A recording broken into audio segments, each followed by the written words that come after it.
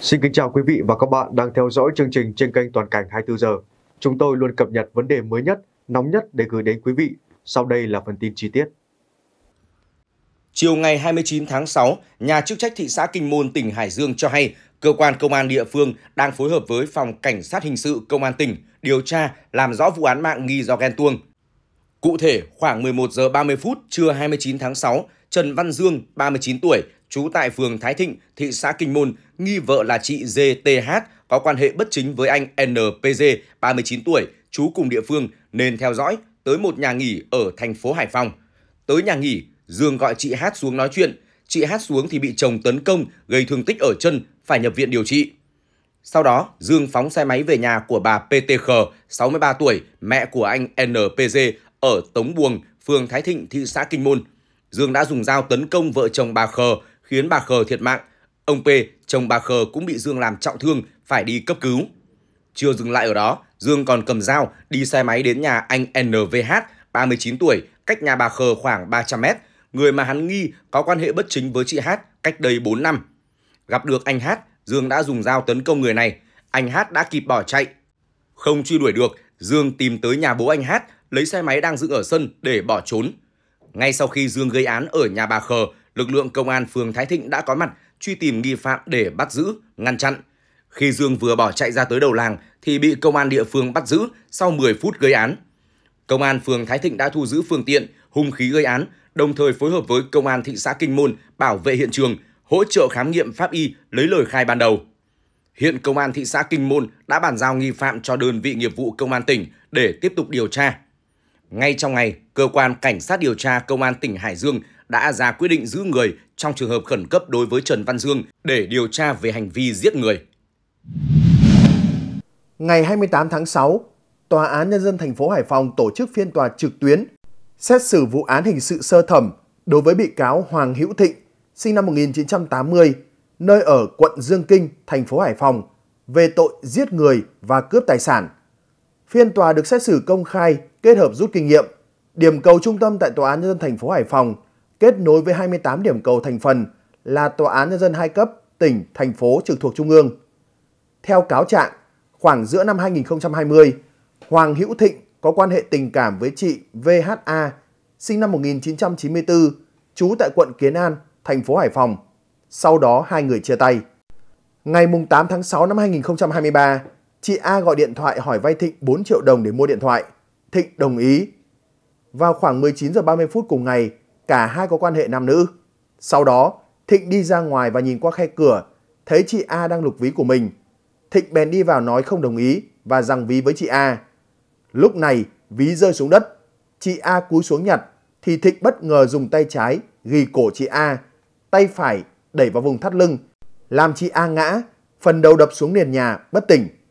Thịnh vỗ nhẹ vào mặt chị A không thấy phản ứng, nên nghĩ chị A không còn sống. Thấy vậy, Thịnh lấy dây ni lông buộc hai chân, hai tay chị A lại, lấy hai bao tải dứa, một vỏ bao trùm từ trên đầu và một vỏ bao trùm từ dưới chân. Dạng sáng ngày 10 tháng 6 năm 2023, Thịnh vác bao tải này trên vai, đưa ra khỏi nhà phi tang. Đến trước cửa nhà số 282 đường Đa Phúc, thấy ánh đèn xe của người đi đường. Thịnh sợ bị phát hiện nên bỏ bao tải về nhà ngủ. Chiều mùng 10 tháng 6 năm 2023, người dân phát hiện thi thể chị A tại đây nên trình báo công an. Kết quả điều tra xác định nạn nhân chết do chấn thương sọ não. Ngày 11 tháng 6 năm 2023, Thịnh ra đầu thú.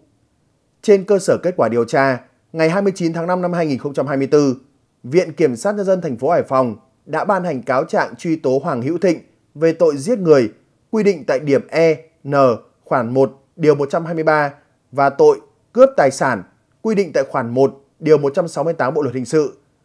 Về phần trách nhiệm dân sự, gia đình bị hại đã nhận đầy đủ tiền bồi thường, tiền cấp dưỡng và có đơn xin giảm nhẹ hình phạt cho Hoàng Hữu Thịnh.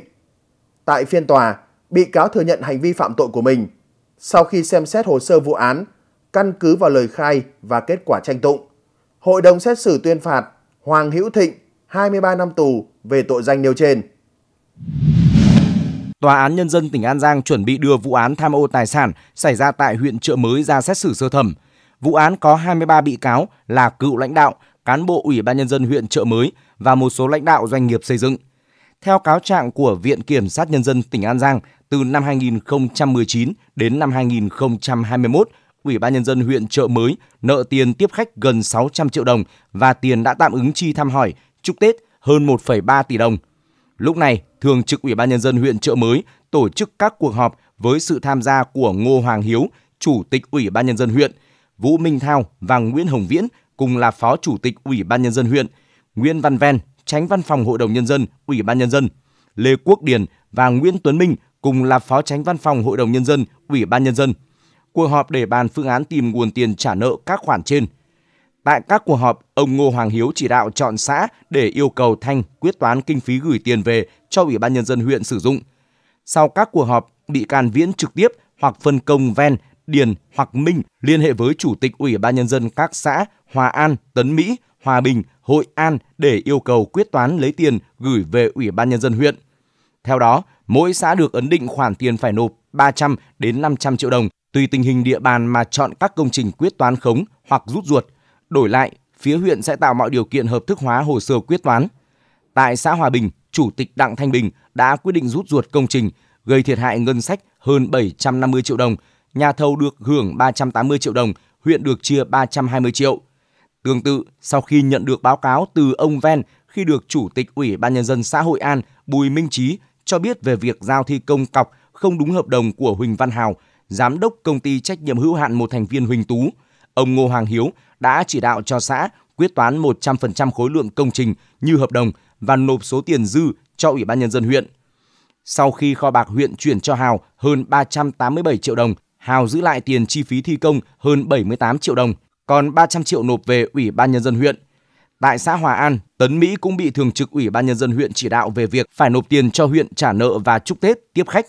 Các chủ tịch Ủy ban Nhân dân xã gồm Lưu Văn Khôn, xã Hòa An, Trần Hữu Đức, Nguyễn Thị Bích Liễu cùng xã Tấn Mỹ, Đặng Thanh Bình, xã Hòa Bình và Bùi Minh Trí, xã Hội An đã bàn bạc cùng các doanh nghiệp lập hồ sơ khống 13 công trình, giảm thi công một số hạng mục, quyết toán khống lấy tiền gửi cho Ủy ban nhân dân huyện, gây thiệt hại cho ngân sách nhà nước hơn 3,4 tỷ đồng. Cụ thể, năm 2020, Chủ tịch xã Lưu Văn Khôn đã bàn bạc với kế toán Nguyễn Thủy Trang chọn quyết toán khống lấy 1,4 tỷ đồng từ 3 công trình đường do nhân dân góp tiền xây dựng. Ông Khôn giữ lại hơn 100 triệu đồng tiêu xài cá nhân, phía huyện lại quả 60 triệu đồng để địa phương có kinh phí hoạt động. Năm 2021, Chủ tịch xã Tấn Mỹ Nguyễn Thị Bích Liễu nhờ Huỳnh Khải, chủ cửa hàng cát đá, xuất khống năm hóa đơn thi công đường để quyết toán 330 triệu đồng. Sau khi nộp về huyện 200 triệu đồng và các khoản chi cho Khải, Liễu dùng hơn 100 triệu đồng để giải đá thi công. Ngoài ra, cơ quan điều tra cũng phát hiện nhiều sai phạm tại công trình cải tạo chợ xã Tấn Mỹ. Sự việc được xác định có sự tiếp tay của cán bộ huyện.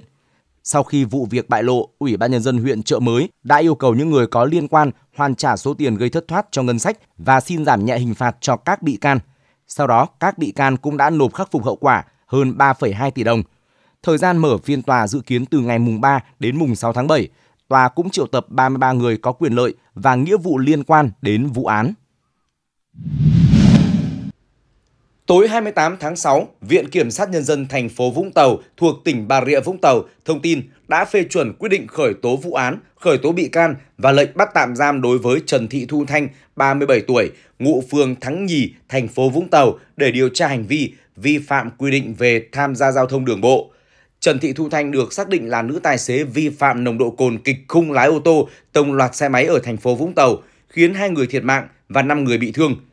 Khoảng 21 giờ 17 phút ngày 27 tháng 6, Trần Thị Thu Thanh lái ô tô biển kiểm soát 72A 70821 chạy trên đường Nguyễn Văn Trỗi hướng Lê Hồng Phong về bãi trước. Khi đến trước số 101 Nguyễn Văn Trỗi, phường 4, thành phố Vũng Tàu, ô tô va chạm vào xe đẩy thùng rác do chị NTF sinh năm 1981 đẩy bộ đi cùng chiều. Sau khi gây tai nạn, Thanh lái ô tô tiếp tục va chạm với hàng loạt xe máy dừng đèn đỏ tại giao lộ Nguyễn Văn Trỗi, Lê Quý Đôn, Ba Triệu, Lê Lai. Chiếc ô tô chỉ dừng lại khi tông mạnh vào trụ đèn. Vụ tai nạn khiến hai người thiệt mạng tại chỗ, 5 người bị thương nặng được người dân hỗ trợ đưa đi cấp cứu. Sau vụ tai nạn, Phòng Cảnh sát Giao thông Công an tỉnh Bà Rịa Vũng Tàu phối hợp với Công an thành phố Vũng Tàu kiểm tra nồng độ cồn và ma túy đối với nữ tài xế. Kết quả, nồng độ cồn trong máu của nữ tài xế là 82,3 mg một lít, Nồng độ cồn qua hơi thở là 0,503 mg một lít, vượt mức xử lý kịch khung theo quy định tại Nghị định 100 trên 0,4 mg một lít khí thở.